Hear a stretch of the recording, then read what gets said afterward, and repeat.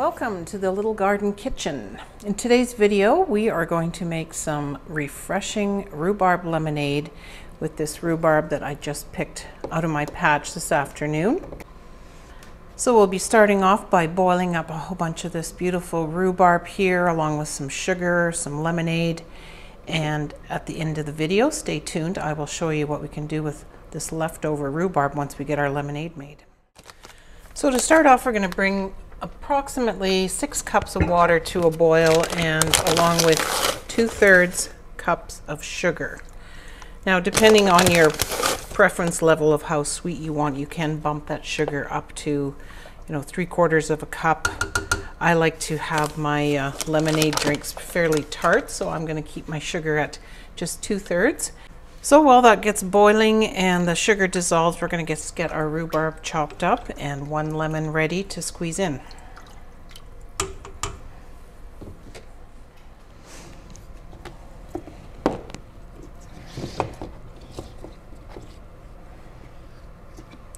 So there's a lot of wonderful recipes out there that you can uh, use rhubarb in and I do have another video that I made last year that shows three easy recipes that you can uh, make with fresh rhubarb from your garden. I'll leave the link to that above and down in the description box below. I'm just going to cut these into smaller bite-sized pieces and I should hopefully get about four cups of rhubarb out of this.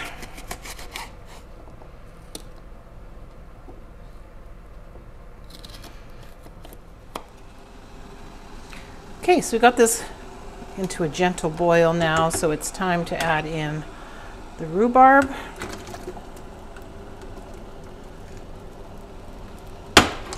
And the juice of one lemon.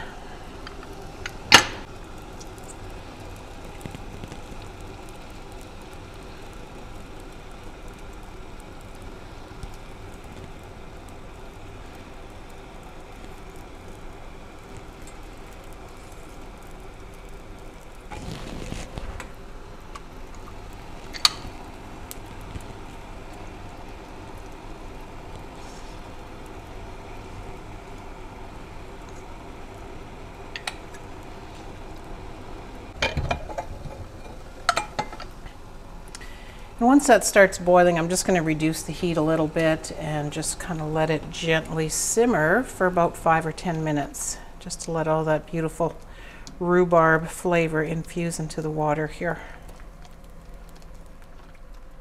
Okay, now that we have let that simmer for a good 10 minutes or so, we're just going to run it through a fine mesh strainer. Make sure you got one big enough to, to handle all of this rhubarb.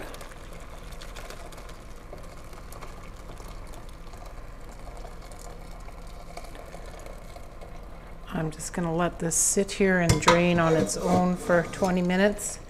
Just check out that beautiful color.